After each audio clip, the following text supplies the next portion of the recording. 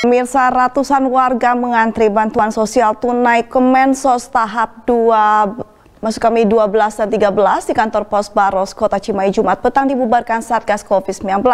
Para penerima bansos tersebut dibubarkan lantaran tidak mematuhi protokol kesehatan. Sebanyak 1.249 penerima bantuan sosial tunai Kementerian Sosial tahap 12 dan 13 memadati kantor pos Baros Kota Cimahi untuk mengambil bantuan mereka. Akibatnya kerumunan para penerima bansos tersebut tak terhindarkan.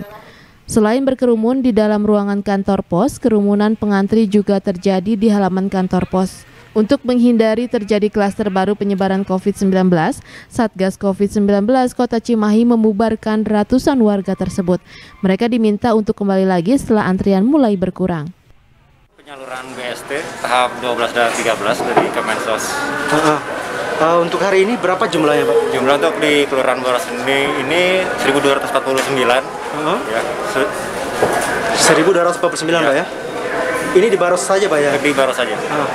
Ini kalau misalnya ini hanya untuk hari ini atau seperti apa Pak? Untuk hari ini ya. Kalau misalnya tidak beres hari ini Pak, uh, seperti apa mekanismenya? Tidak beres hari ini ada susulan hari hari Senin. Uh, untuk iya. yang tidak bisa berhalangan hari ini hari Senin. Sementara itu Siti, salah seorang penerima bansos merasa terbantu dengan adanya bantuan tersebut, terlebih lagi saat Ramadan. Namun dirinya berharap situasi bisa kembali normal lagi. BST, pembagian BST. Pembagian BST Bu ya? ya dari Mensos. Dari Mensos. Mensos. Menteri Sosial Bu ya? Ya. Bu, uh, dengan adanya bantuan ini gimana Bu harapannya Bu? Ya, sedikit memperingan, uh -huh. uh, memudahkan sedikit ada ini bantuannya. Uh -huh.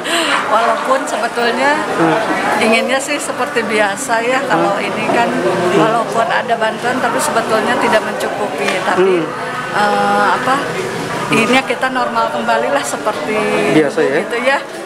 Di kota Cimahi, Jumat kemarin merupakan hari terakhir penerimaan atau penyaluran bansos.